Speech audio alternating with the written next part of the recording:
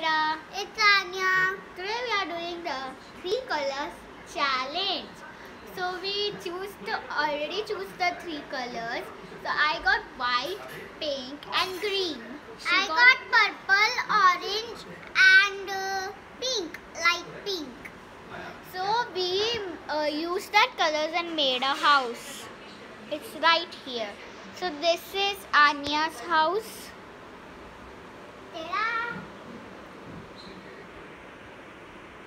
Um, she has some purple and orange balls, some purple things, orange things. So this is my house. I have some pink, white, and these things.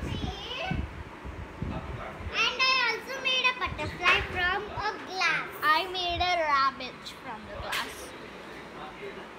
And I also made a tiger from the glass. We made so many animals which are right here. So many. So we are continuing the challenge. and we have our soft toys. That is, I have penguin. And I have my rabbit which is right here. Which we put in So our let's continue the challenge.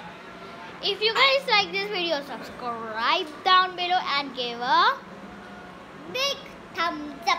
bye guys and comment down below whose house is better. Bye.